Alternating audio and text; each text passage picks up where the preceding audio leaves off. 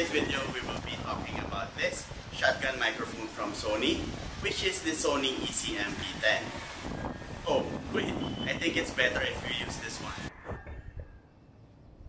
Okay, I think this one is better. Alright, let's do it again. Hey, what's up YouTube? Welcome back to my channel.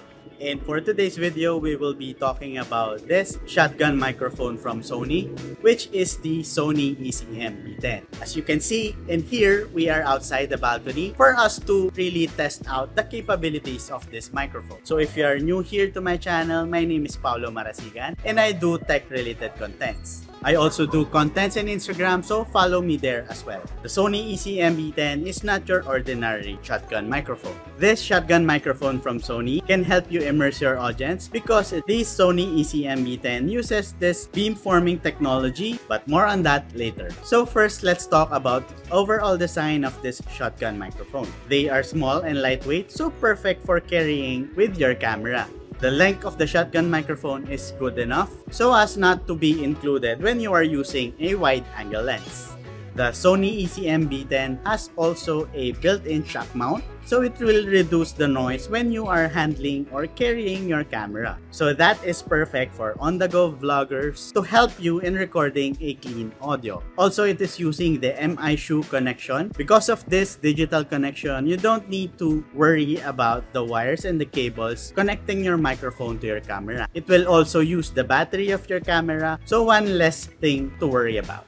Now, let's proceed with the controls available at the back of the microphone. So first is the digital and analog settings. So most of the newer cameras of Sony uses the MI shoe connection. It uses the hot shoe of the Sony camera. In this case, my Sony a7 IV and digitally process the audio which delivers high quality without degradation. Just plug and play and you are good to go. So check the Sony website if your camera is compatible to use a digital connection. Now for the best part of this microphone is it uses a beamforming technology that can pick up or record audio in three different directivity patterns. So I'm gonna do some testing on these three different directivity patterns. So right now we are recording in super directional which is directed in front and it's the one you're hearing right now. So this is me talking directly in front of the camera. So this is me talking directly on the left side of the camera. So this is me talking directly at the back of the camera.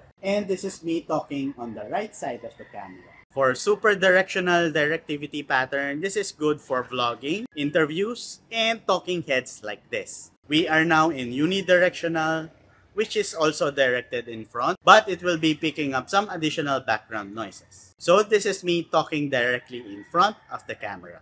This is me talking directly on the left side of the camera. This is me talking at the back of the camera. This is me talking on the right side of the camera. So for the unidirectional setting, this is for talking heads like this and you are interviewing multiple speakers or a panel and you want to cover a little bit of your background. Last is the omnidirectional which records audio in 360 degree spectrum. So this is me talking directly in front of the camera. This is me talking directly on the left side of the camera. This is me talking directly at the back of the camera. This is me talking on the right side of the camera. So for omnidirectional pattern, this is best for vlogs with two-way conversations where you are talking to someone in front and you are talking at the back of your camera. Also, this is good for capturing the 360 degree of your environment like parties, events, weddings, nature. Okay, so we are still using the omnidirectional and for this particular scenario, I believe this is perfect for us tech content creators. And that is when we are doing an unboxing. So right now, as you can see, I'm currently recording or facing my camera in front of the item, but the microphone can still pick up my voice very clearly. So this is perfect for doing unboxing videos like this. Actually, anything while the camera is pointing on your subject while doing the vlog. Now I'm talking again using the super directional pattern as I go along with this video since I believe this setting is the best for this type of setup. The next thing that we will be talking about are the different filters available on this microphone. So right now you are hearing the noise cut filter. That is because I am outside and I don't want to record some of the background noise. And I want to focus the recording on my vocals. Okay, so I turned it off. So it will pick up a lot of ambient sounds. Sounds like this from your air condition unit. You hear that? But we have the last setting, which is the low cut filter.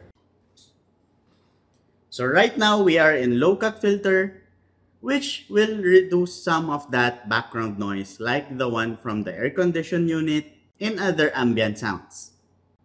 We can proceed with the next, which is the ATT mode. This ATT mode can help you choose between different audio levels of recording from 0 decibels to minus 10 decibels all the way up to minus 20 decibels. Right now, we are recording in minus 20 decibels because of my background noise and I want to reduce most of that background noise. I've changed it to minus 10 decibels and it will pick up some of the background noises. Now I change it to 0 decibels. So my voice will be louder but also my background noise. So I change it back again to minus 20 decibels. Currently, we are recording in auto mode and there's a manual mode if you really want to. You can use the manual settings if your audio levels are really peaking. Right now, we are manual mode and recording on level 3. Right now, we are still recording in manual mode and increase the level to 5. So my voice will become louder, same as my background noise. Right now, we are still in manual mode but recording on the highest level, which is the level 10. So my voice will be louder, same as my background noise. Now changing back to auto mode since I think this is the best settings currently as we are outside my balcony. The last thing we're talking about is the windscreen. So I think this is an underrated part of the microphone which I think is important especially if you are outdoors. It really reduces wind noises which is perfect if you are outdoors on a setup like this. As a content creator, using this microphone gets me excited to do different kinds of contents. And I believe this microphone is versatile enough on a type of content creator that you are. Different settings or the beamforming technology will help you immerse your audience from your content. Which type of content creator you are, this shotgun microphone from Sony has got you covered. Okay, so thank you guys for watching my video. If you like it, please give it a like down below. Subscribe if you haven't already. And smash that bell to get notified when I upload new videos. So hanggang dito na lang muna guys. Talk to you soon.